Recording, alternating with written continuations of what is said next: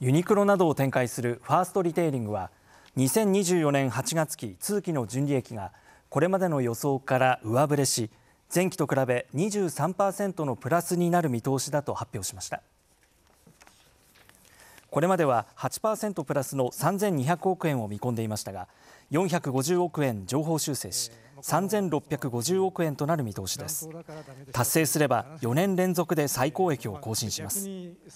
欧米事業が好調に推移しているほか為替相場が想定より円安に触れていることも利益を押し上げます。